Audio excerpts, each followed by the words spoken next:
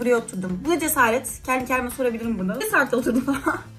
Kararttım gözüm artık yapacak bir şey yok. Bugün makyaj yapacağız. Makyaj nasıl bir makyaj? Özellikle bu şal bağlama videomda yaptığım makyajın aynısını yapmaya çalışacağım. Nasıl bir makyaj? E, kahverengi tonlarda, bronz tonlarda, biraz daha nude tonlarda genelde klasik neredeyse her gün kullandığım makyajı size göstermeye çalışacağım. Ne yapalım? Daha çok ben e, bu şekilde burada durmayayım bence. Makyaja geçelim. Değil mi? Ben bunların isimlerini bu arada telaffuz edemeyeceğim. Edemeyeceğim yani. L'Oreal Paris'in Glow Sherry. Bu renk nemlendirici olarak geçiyor. Mükemmel bir şey. Kesinlikle tavsiye ediyorum. Birazdan farkı göreceksiniz. Özellikle böyle kuru ciltler, işte cildi biraz daha mat duranlar beni çok iyi anlar. Nasıl? Cildiniz çok kuru olduğu için aşırı parlak bir duruş olmuyor makyaj yaptığım zaman. Bu işte L'Oreal Paris'in Glow Sherry. Bu makyajın altına biraz sanırım baz etkisi de yaratıyor olabilir. E, emin değilim. Parlaklık vermiş oluyor. Parlaklığı ben çok seviyorum. Hemen yapalım. Fazla koymak zorunda değilsiniz. Benim gerçekten elimin asla ayarı yok. Yemekte de ayarı yok. Makyajda da ayarı yok. Asla ayarı olmadığı için. Ben mesela şimdi şey diyeceğim size. Musun çok hafif bir makyaj yapacağım diyeceğim. Ama makyaj asla hafif olmayacak. Çünkü elimin ayarı kaçacak. Eminim yani. Ya rimeli abartacağım. Ya e, para abartacağım. Bir şey abartacağım. Neyse.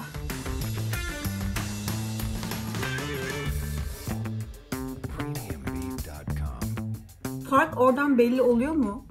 Bence belli ol. Umarım belli olmuştur. Gördüğünüz gibi bir parlaklık geldi. Bu arada hazır sıfır makyajken size bir şey söylemek istiyorum. Ne söylemek istiyorum? Böyle e, görüyoruz işte YouTuber'lar, influencer'lar fotoğraflarına, storylerine baksanız herkesin cildi mükemmel. Gerçekten hiç kimsenin bir cilt problemi ya da bir cilt sıkıntısı yokmuş gibi diyor. Kesinlikle öyle değil. Sakın ha sakın kendi cildinizde orada gördüğünüz ciltlerle karşılaştırmayın. Görüp de ya niye benim sivilcem var neden benim cildim böyle değil. Böyle düşüncelere asla girmeyin çünkü kimsenin cildi inanın güzel değil. Herkes bir sürü cilt problemiyle uğraşıyor. Ayrıca Instagram özellikle sosyal medyadan bahsediyorum çok başka bir değil. Efekt diye bir şey var, shop diye bir şey var. Gördüğünüz benim de cildim böyle değildir fotoğraflarda. İfşa aldım kendim ama yapacak bir şey yok çünkü gerçeği böyle.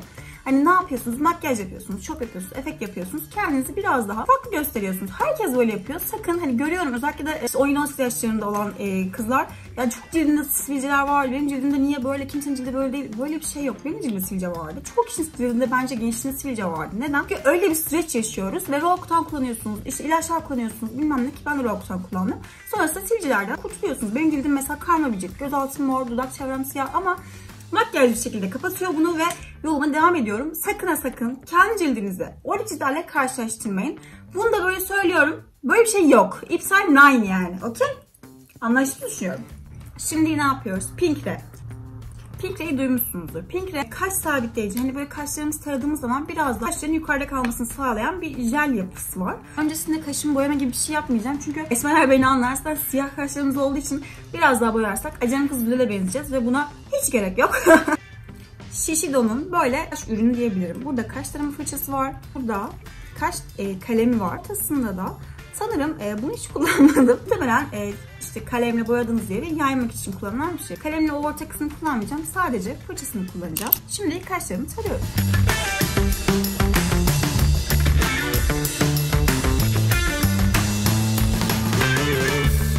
Bu arada şöyle bir görüntü oluyor şurada. Kalmayacak. Sakın bakıp bana şu an şey yapmayın. Kendimi kapatayım mı ne yapayım? Bu böyle kalmayacak çünkü e, makyajın sonuna kadar bile bu kaldırdığım kaşlarım inecek. Tipe bak falan diyormuşum. Bu kaşlarım inecek. Gerçekten inecek. Gerçekten inecek. Bu ne yapıyor? Bence e, gözleri biraz da böyle yukarı kaldırdığını düşünüyorum.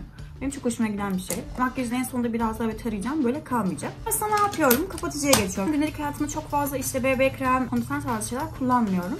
O yüzden L'Oreal Paris'in Yine ismini telaffuz edemedim. Muhtemelen Infallible Mordant Concealer. Nedir bu? Yüz uygulanabilen bir concealer var ya. Bunu çoğunlukla görmüşsünüzdür. Ben biraz daha hatta yeni başladım gayet güzel bir ürün bence. Çok öneririm. Tonumuzu alın. Hani göz altına concealer'ları biraz daha açık tonda alıyoruz ya. Bunu kendi tonumuzda alın. Çünkü biraz daha yüzümüze yayacağımız için daha sonrasında daha açık bir concealer'la göz altımızı destekleyeceğiz. Ben sürmeye başlarım. Bu arada az süreceğim. Çok fazla sürmeyeceğim. Bana inanmayın. ben kendime inanmayı bıraktım bu konuda.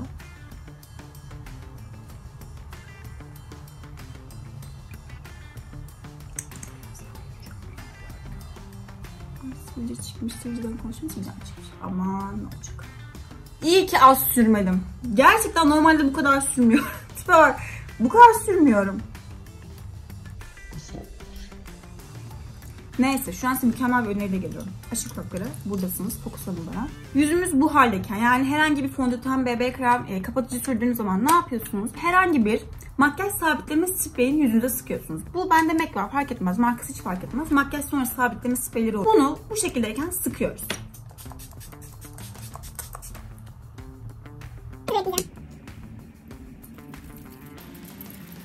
Bu ne yapıyor? Kircin e, gerçekten biraz da bence parlak durmasını sağlıyor. Bakın ben ilk halimi gördünüz. E, benim cildim gerçekten mat bir cilt. Gerçekten kuru bir cilt. Ben böyle işte ufak ufak böyle tiyolar buldum kendi kendime ve cildimi biraz da parlak hale getirmeye çalışıyorum. Çünkü öyle. Neyse gördüğünüz gibi şimdi bunu yayacağım. Nasıl yayacağım? Ya bence çok daha mantıklı. E, fırçalar böyle kıl falan kalıyor üstüne. Hoşuma gitmiyor.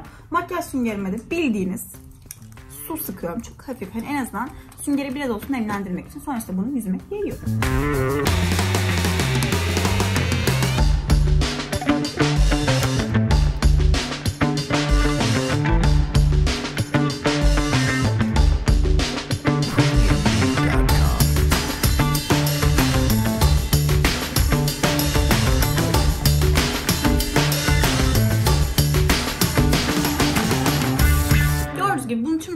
Suratıma yaydım. Ee, son farkını fark ettiniz.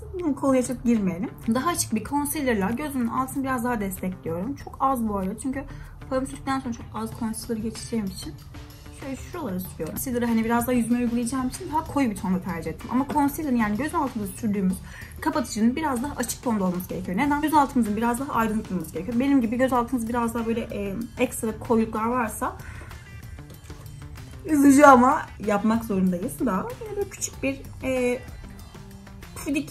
ne bunun adı? Makyaj simgeli. Oturmuşum ben de burada size makyaj videosu çekiyorum. Beni öyle seviyorsunuz değil mi? Ben çok seviyorum. Neyse. Devam ediyoruz. Bunu da göz altına bir güzel yiyoruz.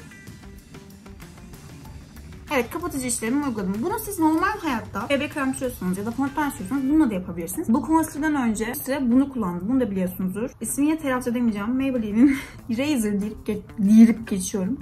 Aa! Bunu kullandım özellikle. Sadece göz altımı sürüp yüzüme hiçbir şey sürmüyordum. Sonrasında bu tüm yüz uygulama bir kapatıcıya geçtikten sonra tüm yüzümü sürmeye başladım. Ve biraz daha bu ton eşitlemesi hoşuma gitti. Bunun gibi BB kremle fontenle çok rahat yapabilirsiniz. Bundan sonra ne yapıyorum? Fara geçiyorum. Size ben bunları sildim biliyor musunuz? Gerçekten sildim. Ama bu şey olmuş artık. Böyle kalmış. Niye böyle kaldı? Çünkü gerçekten bunların hepsi kırık biliyor musunuz? Neden kırık? Sürekli valize giriyor. Ben çok seyahat eden bir insanım. O yüzden sürekli valize girdikleri için kırılıyorlar. Yapabileceğim bir şey yok. Takılmayın. Böyleler yani. Revelation far paleti. Revelation far paleti. Revelation far paleti. Revelation far paleti. Ve NYX. NYX'in Ultimate Shadow e, palet. Bunu biliyorsunuz zaten. Bunu en son göreceğim. Revelation bence far e, paleti konusunda fiyat performans açısından çok güzel bir far paleti. Yani gerçekten e, çok fazla çeşitli var. E, tonların hepsini çok seviyorum. Size biraz göstereyim. Bu dışı pembe pembe tabii pembeden eser kalmamış pembe kapaklı olan Böyle tonları var. Gördüğünüz gibi hepsinde bu arada turuncunun bitmiş olduğunu görebilirsiniz. Çünkü her gün bunu sürüyorum. Biri beni kurtarsın bundan. Dışı siyah olan Beast Mate Ultra Shadows diyor. Biraz daha böyle koyu tonlarda. Gördüğünüz gibi yine turuncular bitmeye yüz tutmuş. Annem şey diyor sürekli. Bu far paleti alıp sadece turuncuyu konup geri kalanı ne yapıyorsun diyor. Duruyor öyle ne yapayım diyorum. Çünkü sadece turuncu far yani çıkarmıyorsunuz. Çıkarsanız da böyle güzel olmuyor. Revelation. E, bu da çok seviyorum. Neredeyse e, günlük hayatta kullanabildiğim her ton bunun içinde var. Bu da Revelation Isolation. Buradaki tonlar gerçekten çok güzel. İsimleri falan çok güzel. Light, enerji. 11-11 diye bir far ismi var. Ne alaka? Melekler beni mi düşünüyor? Supernatural diye bir far şeyi var. Şaka gibi. Bunu ilk defa gördüm. Supernatural en sevdiğim dizi olduğu için Ay çok hoşuma gitti neyse. Böyle e, daha böyle simli tonlarda olan bir far paleti. Ne yapacağız? Günlük hayatımda far olarak biraz daha turuncu, üstüne ve biraz daha kahverengi tonlarında farlar sürdüğüm için de aynısını yapacağım. İlk olarak şöyle açık herhangi bir e, farla göz kapağımı yayıyorum. En azından göz kapağımı biraz daha fara hazırlıyorum.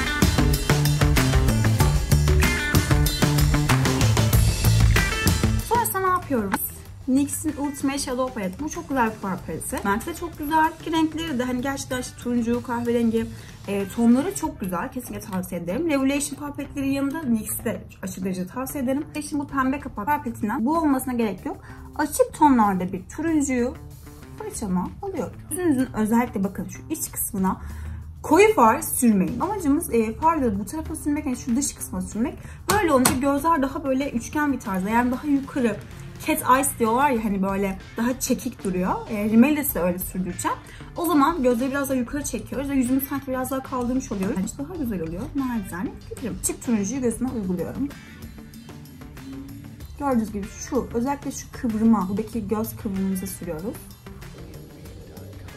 Makyajın sonunda şey var ya bir tane teyze var biliyor musunuz? Ee, telefona bakıp kendini görüyor. Ay bu ben miyim? Bu ben miyim diye bir çıldırıyor ya. Ay bu ben miyim? Aa, ben miyim? Onun gibi olacağım. Şimdi bu tarafta bakın şu. Özellikle şuradaki kıvrım var ya şu kıvrımınıza iç kısma koyu far sürmüyoruz. Canım hanımefendiler, lady'ler, kraliçeler, imparatoriçeler. Ay bizden her şey oluyor. NYX'in Ultimate Far Paletinden olur, Revelation Far Paletinden olur. Yani maksat iki tonda göstereceğim size. Şuradaki koyu turuncu gibi duran farı sürmek. Yani ne? E, ben hep turuncu tonları sevdiğim için. Evet biraz e, kışın bu arada bu turuncu tonları şey kaçabiliyor, açık kaçabiliyor. Ne yapacağım? Hafif de böyle şu an kışta olduğu için kahverengi koyacağım. Ama normal yazda olduğunu sadece bildiğiniz turuncu sürüyorum ve çıkarıp da bu turuncu tonlarında yine olan fardan şöyle alıyorum. Yine gözün şu kenarlarına sürüyorum.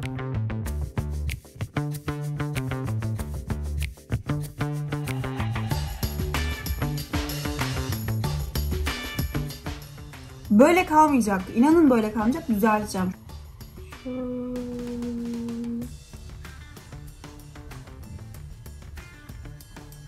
bunu parmakla tabii ki biraz düzelt. Demiştim işte konsül sürerken yine en sonunda biraz daha böyle konsüle süreceğiz diye.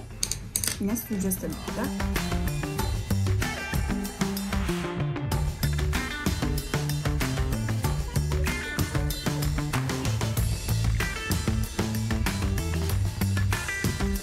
Biraz da böyle koyu tonla şöyle hafif çok hafif yine şu köşelere koyacağım. Hani böyle biraz ton geçişini yapmak için. Maksat biraz daha açık tonu önce daha sonra koyu tonu sonrasında e, özellikle şu kenarlara sürmek.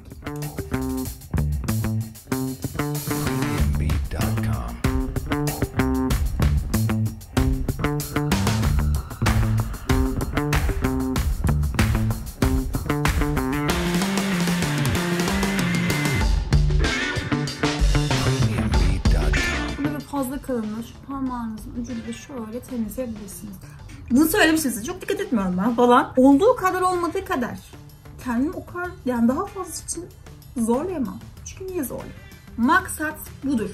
Ne? Maksat ne Zülal? Maksat e, açık turuncudan üstüne biraz daha koyu turuncu. Açık concealer'ımla çok hafif şuraları şöyle dokunduruyorum.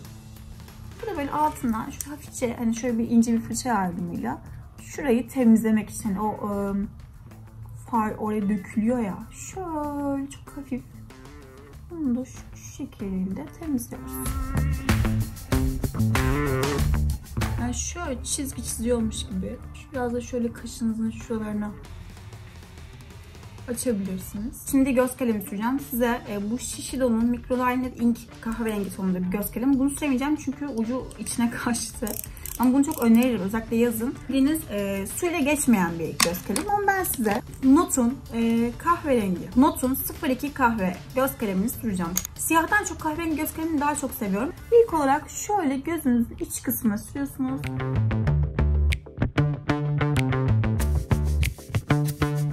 Sonrasında göz altıma kahverengi göz kalemini çekiyorum.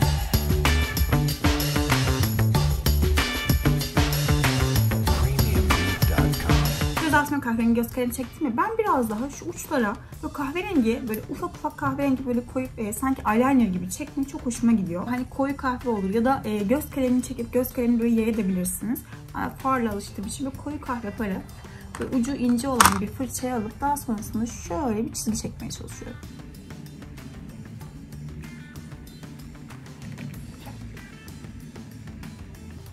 Bunu şöyle parmağımın sonrasında şöyle yayıyorum. Buğulu e, durmasını sağlamak. Sonrasında ne yapıyorum? Şu iç kısma ne olur? Açık tonlarda bir far olur. Böyle simler olabilir. Hani böyle açık tonlarda şöyle birazcık alıyorum. Sonra şu kısma dokunduruyorum.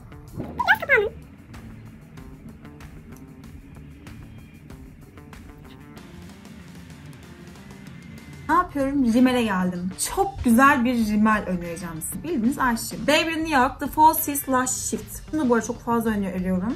L'Oreal Paris Volumishim Royal Mi. Bu rimeli çok seviyorum. Gerçekten bunu da çok seviyorum. Ne yönden artısı var derseniz e, bence kirpikleri gerçekten uzatıyor ve bir yoğunluk veriyor. Biraz da hacimli görünmesini seviyorum. Yani sanki böyle dolu dolu gözükmesi seviyorum. İnce ince ayrıldığı zaman bana çok hoşuma gitmiyor. Bu biraz daha doluluk etkisini bence sağlıyor. Hemen rimele geçiyorum. Rimelde bu arada en önemli şey. Dinleyin benim ne yapıyoruz? Kirpiklerimizi dışarı doğru tarıyoruz. Dışarı doğru. Neden dışarı doğru? Çünkü e, dediğim gibi gözde de hani böyle yukarı yukarı yaptık ya. E, kirpiklerimi dışarı doğru taradığımızda biraz daha cat eyes bu etki yaratmaya çalışıyoruz. Kadar tabii ki hemen dışarı doğru değil. Biraz olsun. Kirpiklerimizi şöyle şöyle yukarı doğru tarayacağız. Sonrasında dışarı doğru. Hepsini dışarı doğru alacağız. Neden? Daha badem göz şeklinde duracak. Bence çok daha güzel oluyor. İlk olarak kirpiklerimi böyle yukarı yukarı Rümel dünyadaki en mükemmel şey değil mi ya? Ben rümel sürmeyi gerçekten çok seviyorum. Ve kirpiklerimizin daha ortaya çıkıyor ya bence çok güzel bir şey. Gördüğünüz gibi ilk önce yukarı doğru taradım. Şimdi dikkat edin. Kirpiklerin hepsini dış tarafa doğru tarayacağım. Şu şekilde şöyle hepsini şu en baştakileri bile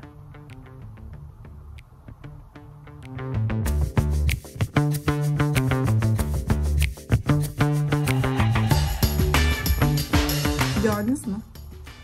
Yani şu hani dış tarama işlemini bence sevmiyor olabilirsiniz. Gözleriniz daha böyle büyük, daha yukarıda durmasını istiyor olabilirsiniz. Böyle böyle bakabilmek için. Ya kirpikler çok güzel. İki kirpiklerimiz var.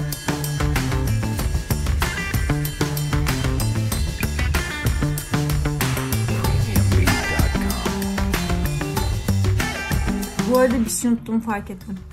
Kirpiklerimi kıvırmadım. Ve gerçekten kirpiklerimi kıvırmadan da çok rimel sürmem. Neyse yapacak bir şey yok olduğu kadar olmadığı kadar diyoruz. Sürdüm. Biraz daha alt kirpikleri. Çok fazla sürmeden yani şöyle şöyle. Sonrasında ne yapıyorum? Bronzer'ımı sürüyorum. Bu The Balm'ın Bahama Mama diye geçiyor.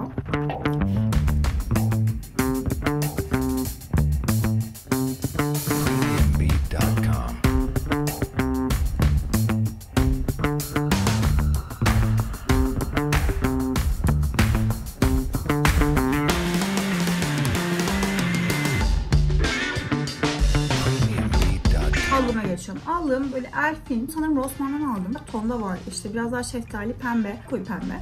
Ben genelde bu şeftalileri daha çok seviyorum. Şöyle hafif şeftali alıyorum. Sonrasında ne yapıyoruz? Ortamdasınız. İçeri hiç hoşlanmadığınız biri girdi tamam mı? Ama gülümsemek zorundasınız. Sen geldin? Güzel. Ay ne kadar fenayım neyse yani böyle sahte bir gülümseme alıyorsunuz yüzünüze. Sanki çok mutluymuşsunuz gibi.